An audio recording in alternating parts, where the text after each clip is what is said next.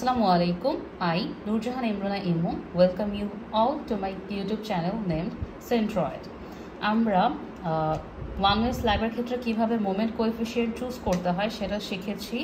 এই ফিগার দুইটা ইউজ করে। কিন্তু অনেক সময় দেখা যায় আমাদের এক্সামে আসলে এই দুইটা ফিগার দেওয়া থাকে না। সেখানে হচ্ছে এই টেবিলটা গিভেন থাকে। তা আমাদের আসলে কিন্তু দুইটাই শিখতে হবে। ক্লাসে তোমাদেরকে দুইটা যদি শেখানো নাও হয়, তাও কিন্তু আমাদেরকে দুইটাই শিখতে হবে। কারণ এক্সামে কোনটা দেওয়া থাকবে সেটা হচ্ছে টিচারের উপর ডিপেন্ড করে। এটাও দেওয়া থাকতে পারে টেবিলটা যেটা হচ্ছে ACI given table table six point five point two এই টেবিলটা বা এই ফিগারটা এটা হচ্ছে তোমাদের যে ডিজাইন অফ কনক্রিট স্ট্রাকচার্সের যে বুকস আছে নীলসনের বই বা হচ্ছে নাদিম স্যারের বই, ওই বইগুলোতে এগুলো গিভেন দেয়া আছে। বা এগুলো তোমরা ইজিলি হচ্ছে ইন্টারনেটে সার্চ করলেই পাবে। এসে table E six point five point two এটা সার্চ করলেই পাবে বা ওয়ান ওয়ে স্লাইবের মোমেন্ট কোয়েফিশিয়েন্ট সার্চ করলেই পাবে এই টেবিলগুলো বা এই ফিগারগুলো তো আমরা হচ্ছে ফিগারগুলো থেকে ইউজ করা ফিগারগুলো ইউজ করে কীভাবে কোএফিসিয়েন্ট চুজ করা লাগে সেটা শিখেছি।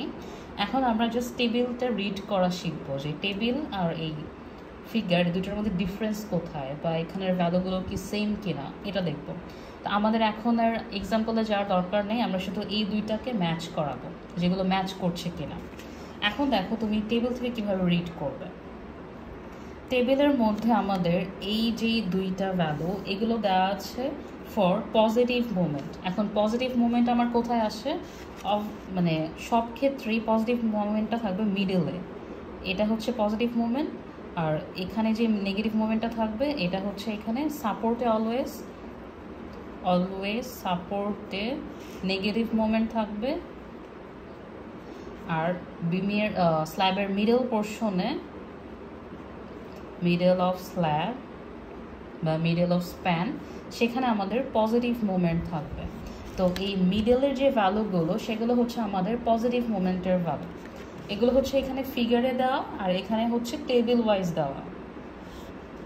তো আমরা যদি দেখি আমাদের পজিটিভ মোমেন্টটা কী এখানে দেখো পজিটিভ মুভমেন্টের জন্য আমাদের ভ্যালু এখানে কি বলা আছে? Discontinuous end integral with support সাপোর্টে যদি ডিসকন্টিনিউয়াস এন্ডের সাথে ইন্ট্রিগালি থাকে, তার মানে সেটা কি ছিল? আমাদের বিম ছিল বা কলাম ছিল। তো এখন বিম আর কলামের ক্ষেত্রে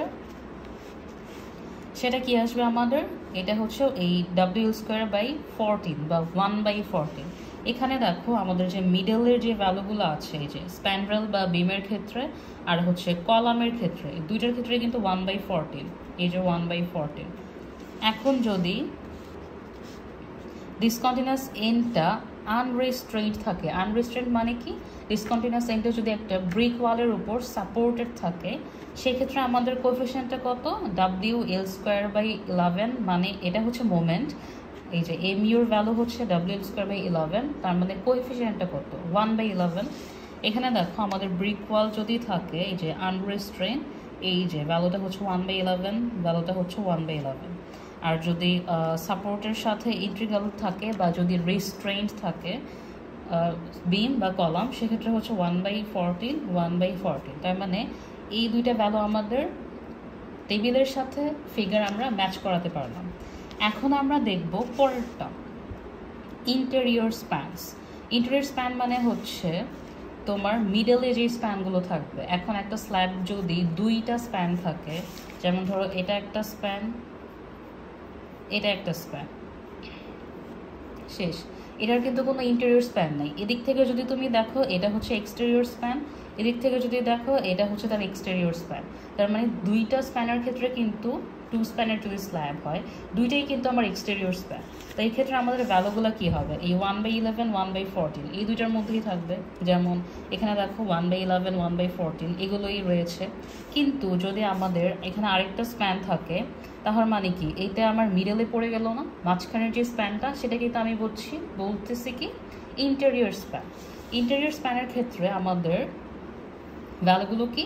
সেটা হচ্ছে ওয়ান বাই সিক্সটিন এখন স্ল্যাব চারটা স্প্যান হোক, পাঁচটা স্প্যান হোক, তিনটা স্প্যান হোক, সবগুলা ইন্টেরিয়র স্প্যানের জন্য আমাদের ভ্যালুটা কত হবে? ওয়ান বাই সিক্সটিন এইটা দেখো, এখানে এটা একটা স্প্যান এদিকে আরও কন্টিনিউ করতেছে, তার মানে আরও অনেক স্প্যান আছে।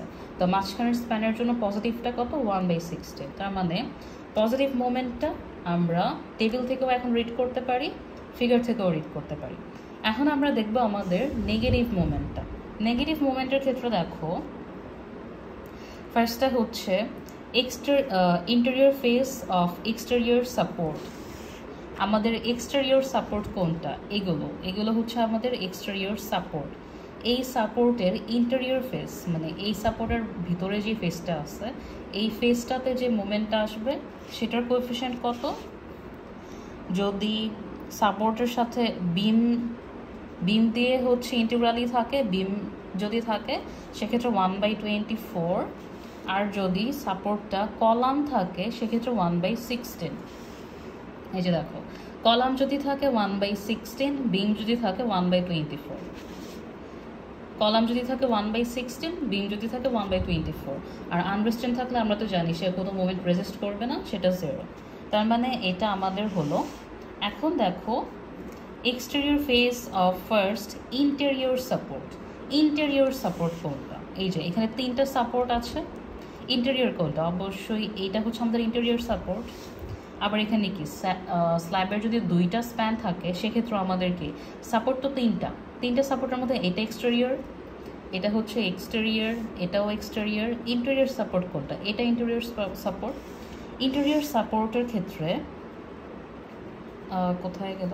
হ্যাঁ এক্সটেরিয়র ফেসটা মানে হচ্ছে এই পোর্শনটা এই পোর্শনের ভ্যালুটা কি হবে? যদি দুইটা স্প্যান হয় স্ল্যাবের ক্ষেত্রে, সেক্ষেত্রে আসবে ওয়ান বাই নাইন যদি দুইটার বেশি সাপোর্ট হয়, সেক্ষেত্রে হবে ওয়ান বাই টেন যদি দুইটা সাপোর্ট সরি যদি দুইটা স্প্যান হয়, সেক্ষেত্রে ইন্টেরিয়ার বা মাঝখানের যেই সাপোর্টটা আছে, সেটার প্রথম যেই ভ্যালুটা এক্সটেরিয়ার বাইরের যে প্রথম ভ্যালুটা সেটা হবে one by nine one by ten এটাও মিলে গেল ওয়ান বাই টেন এখন হচ্ছে আমাদের বাকি সব ক্ষেত্রে। ফেস অফ আদার সাপোর্টস বাকি সব সাপোর্টের ক্ষেত্রে নেগেটিভ মুভমেন্টটা আসবে ওয়ান বাই ইলেভেন যেটা হচ্ছে আমাদের দেখো, এই যে। এই বাকি সব সাপোর্টের ক্ষেত্রে হচ্ছে এগুলো ওয়ান বাই ইলেভেন আসবে। এখন কথা হলো, এটা কেন ওয়ান বাই নাইন হলো? তার কারণ, এদিক থেকে যদি দেখো তুমি, এটা এক্সটেরিয়র সাপোর্ট এটা ইন্টেরিয়র সাপোর্টের প্রথম ফেস আবার যদি এদিক থেকে দেখো, এটা এক্সটেরিয়র সাপোর্ট এটা ইন্টেরিয়র সাপোর্টের প্রথম ফেস এটা হচ্ছে আমাদের ওয়ান বাই নাইন এটা ওয়ান বাই নাইন মেইনলি যদি স্ল্যাবটা টু স্প্যানের হয়, এই পাশের ভ্যালুগুলো আর এই পাশের ভ্যালুগুলো কিন্তু সেম যদি স্ল্যাবটা থ্রি স্প্যানের হয় বা তার চেয়ে বেশি হয়, সেক্ষেত্রে আমাদের প্রথম যে ভ্যালুটা আছে, এটা ওয়ান বাই টেন হবে, বাকি সবগুলো ওয়ান বাই ইলেভেন হবে। এখন ধরো এই, আমি ধরলাম এখানে এরকম স্ল্যাব চারটা স্প্যান দিলাম। এই ক্ষেত্রে আমরা এই টেবিল থেকে যদি রিড করি, এটা ধরলাম হচ্ছে বিম সবগুলো বিম ধরলাম। তো এই ক্ষেত্রে আমাদের প্রথমে পজিটিভস যদি ভ্যালুগুলো নেই, সেটা কি হবে? এন্ড স্প্যান মানে হচ্ছে লাস্টের যে স্প্যানটা এই স্প্যানটা হচ্ছে যদি আনরেস্ট্রেন্ট হয়, এটা তো আমাদের আনরেস্ট্রেন্ট না, কারণ এটাকে আমি বললাম বিম বিম যদি হয়, তাহলে পজিটিভ ভ্যালুটা কি আসবে? ওয়ান বাই ফোরটিন এটা হচ্ছে এন্ড স্প্যানের জন্য। এটা একটা এন্ড স্প্যান আবার এটা একটা end span one by fourteen আসলো। তারপরে হচ্ছে, আর ইন্টেরিয়র যে স্প্যানগুলো হচ্ছে মাঝখানের স্প্যান সেটা কি আসবে? One by sixteen. এই যে ওয়ান বাই সিক্সটিন। এখন যদি নেগেটিভগুলো দেখি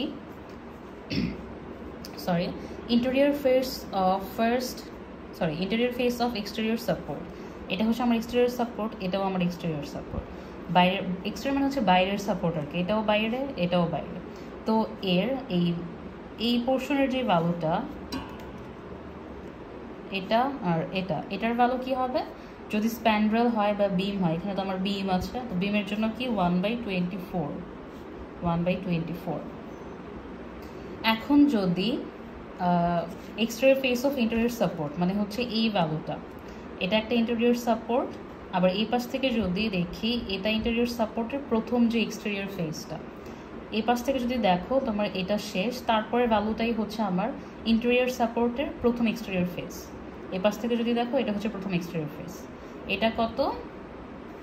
মোর দেন টু স্প্যান হলে ওয়ান বাই টেন এটা হচ্ছে ওয়ান বাই টেন এটা এই পাশ থেকে এদিকে আসতে এটা প্রথম, এটা হচ্ছে ওয়ান বাই টেন তারপরে হচ্ছে বাকি সবগুলোর জন্য ওয়ান বাই ইলেভেন মানে এই ভ্যালুটা হচ্ছে ওয়ান বাই ইলেভেন এই ভ্যালুটা হচ্ছে ওয়ান বাই ইলেভেন এখন যদি এখানে আমার আরেকটা স্প্যান থাকতো সেই ক্ষেত্রে কিন্তু এই ভ্যালুটা ওয়ান বাই টোয়েন্টি ফোর হতো, এই ভ্যালুটা হয়ে যেত ওয়ান বাই টেন আর এগুলো সবগুলো ওয়ান বাই ইলেভেন হতো।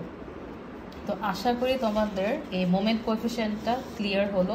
এটা কিন্তু আমার অনেক ইম্পর্টেন্ট কারণ এই কোএফিসিয়েন্ট ভুল হলে কিন্তু আমার মোমেন্ট ডিটারমাইন করা ভুল হবে।